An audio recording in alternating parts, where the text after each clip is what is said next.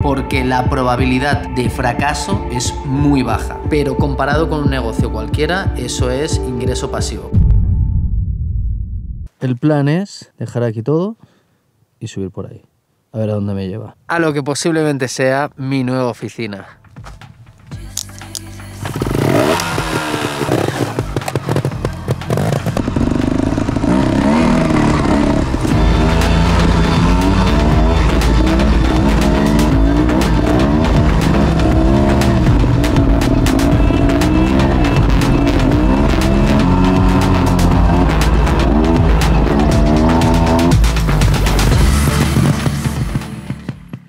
Este lugar creo que podría ser perfectamente mi nueva oficina.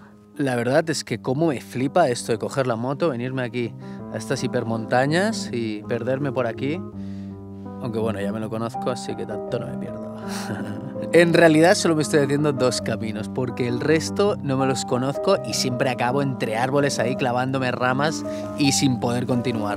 Con el tiempo y a base de probar muchas cosas y estar también en el sector del real estate, me he dado cuenta que a cualquiera le recomendaría entrar en este sector sí o sí.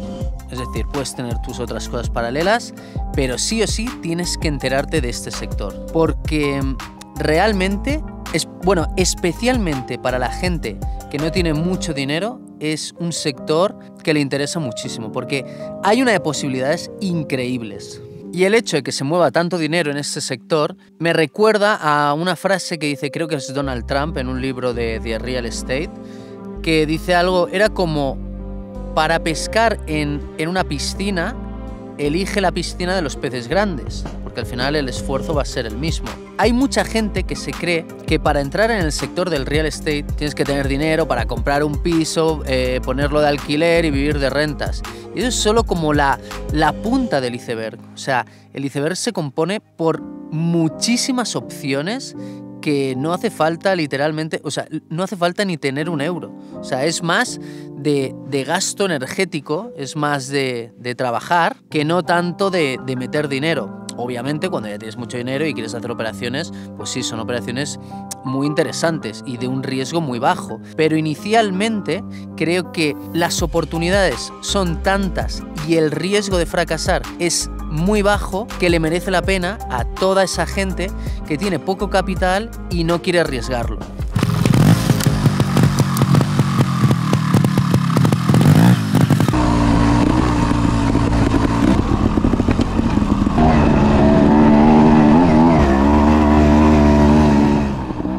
Está nevando nada y menos.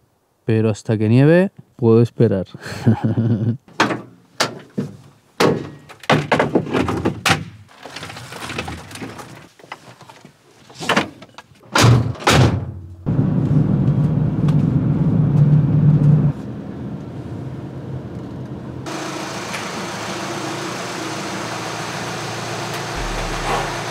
Para ir al grano y no hacer un discurso de mis, que creo que no he dejado las cosas muy claras, a lo que me refiero es que el real estate tiene opciones para todos los bolsillos. Si tienes 0 euros, puedes hacer de trader. Incluso si no, si no quieres ser un agente inmobiliario, yo prefiero más el intermediario entre inversor y oportunidades. Llegas a un acuerdo con estos inversores y te haces una cartera de inversores y les vas pasando cosas que encuentras. Lo malo es que consume energía, pero bueno, puedes empezar a hacer cosas ya y entras dentro de este sector que verás que se mueven oportunidades de todo tipo. Y ya te digo, los inversores, tener a un perfil así que les trae oportunidades, están encantadísimos de pagarles su comisión.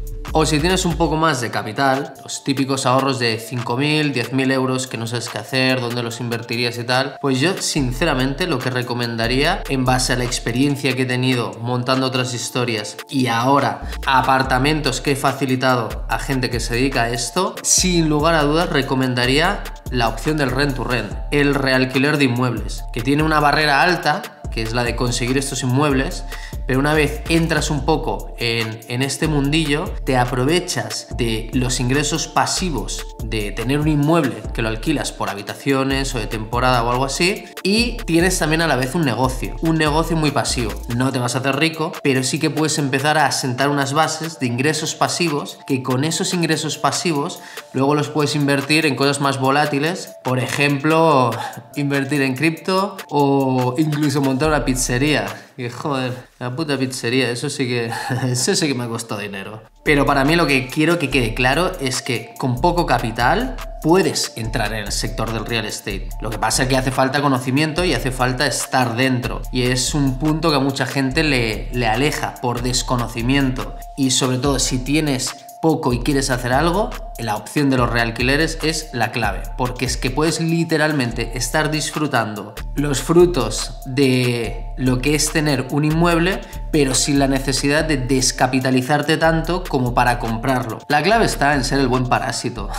tú no compras el inmueble, tú lo gestionas, lo realquilas, te beneficias de esos ingresos extra y no tienes que lidiar con lo que supone tener patrimonio. Y este apartamento puede parecer muy caro, porque realmente si entras a Idealista y ves lo que cuesta algo así, flipas lo caro que es. Pero tengo que decir que este en especial me ha salido muy bien de precio, porque pusieron mal la descripción.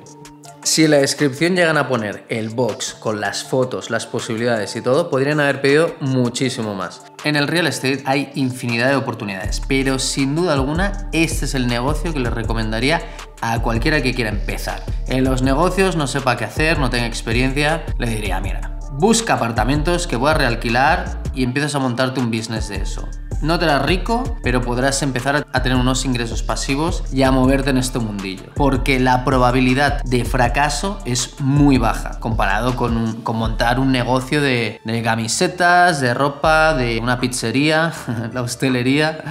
la hostelería es una máquina de, de quemar emprendedores. Y un punto muy bueno que tiene este modelo de negocio es que no te van a faltar inversores, porque como el modelo es muy seguro y es muy sólido, encontrarás mucha gente que te quiera prestar dinero para montar lo que quieras hacer. Para la reforma, para los primeros alquileres, yo qué sé. En el caso de no tener dinero, seguro que encuentras un socio.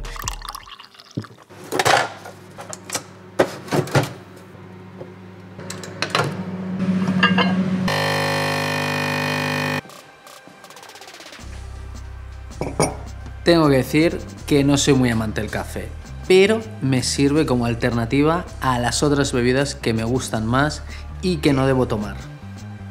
Y estoy pensando en sacar una serie basada en documentar las luces y las sombras de llevar un proyecto a cabo y había pensado que este proyecto inicialmente fuera madrix.com, porque como es en lo que estoy trabajando ahora y tiene buena base. Porque aunque ahora mismo madrix.com es una newsletter que va de incrementarte tu conocimiento en el real estate para que puedas detectar oportunidades o simplemente sepas más para tomar mejores decisiones, pero además saldrán más cosas como productos digitales y físicos tipo merchandising y cosas así, que yo creo que puede aportar mucho valor documentando la fabricación de estos y todo lo que conlleva este proceso.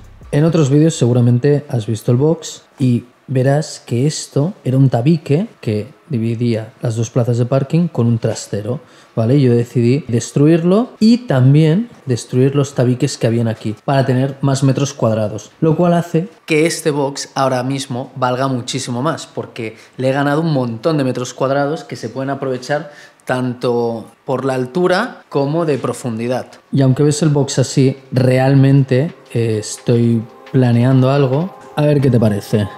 Mi idea es hacer algo así. He representado dos furgos, que es lo que más ocupa. Obviamente no van a haber dos furgos, o quién sabe. Pero la idea es meterle unos montantes, unos soportes, solucionar los huecos que hay en todo, construyendo una estructura para taparlo, pero que también sea que se pueda remover Además aquí estoy pensando en hacer una especie de grifo aprovechando el agua que ya está cayendo con un acumulador y aquí mi idea sería meterle o un recubrimiento así, tipo de madera horizontal que no me acabe de molar o algo más así. En plan full black, muy elegante, aquí con, como con una estantería. Y estos espacios Mi idea es hacer, o sea, cubrirlo, pero con, con puerta. Y este espacio quedaría abierto para poder guardar cosas más de uso diario. Y mi idea era montar aquí una especie de mesa de trabajo, estudio y también el tema es que voy a aprovechar todas las alturas para guardar todo eso en las partes altas. Y tengo dudas de si esto hacerlo en plan pladur y un acabado liso, pero el hecho de que sea madera me gusta por dos puntos. Uno, que el rollo montaña me mola mucho y un box rollo montaña, no sé, me mola. Y en plan utilidad que puedo meterle estanterías y anclarlas directamente a la madera. La idea es que sea madera pintada de negro.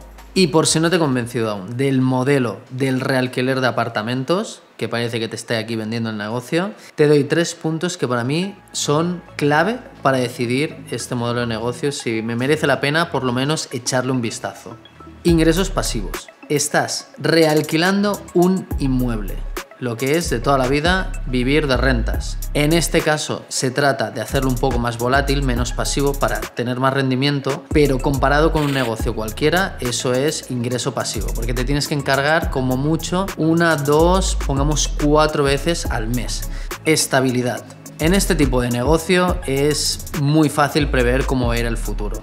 Y tú ya ves si te están entrando muchas reservas o no, y eso te genera una estabilidad que puedes hacer otras cosas que no te ocupen tiempo en esto, o por lo menos estar tranquilo de que los próximos meses vas a cobrar. Cosa que en un negocio tradicional, pues bueno, es un poco más diferente y de las mejores partes que es los rendimientos. Pocos negocios te dan unos rendimientos así, suponiendo tan poca gestión y tan poco riesgo. Porque puedes conseguir perfectamente un apartamento en Barcelona Centro por unos 1.200 y realquilarlo por 3.000 o incluso 5.000 y pico si haces una reforma bastante correcta. Y es posible que no me creas, pero mira, te enseño Airbnb. Vamos a fechas. Aquí vamos por meses Vamos a elegir un mes. Vamos a octubre. De, por meses y destino. Ponemos Barcelona alojamientos. Vale, vamos a ver lo que hay aquí. Aquí ya puedes ver este 2000 una cama. Este es un piso pequeño, lo he visto antes. Había uno por aquí interesante está chafardeando. Este 4000. Este está currado, ¿eh? Pero mira, un dormitorio para dos viajeros, una cama, un baño. Está guapo, ¿eh? Este, esta me mola. Pero si lo pides ahora, tienes descuento, 3.900 euros. Y ya te digo yo que este apartamento, él está pagando unos 1.000, 1.200. Lo que pasa es que se ha dejado un dinero en la reforma. Sigamos.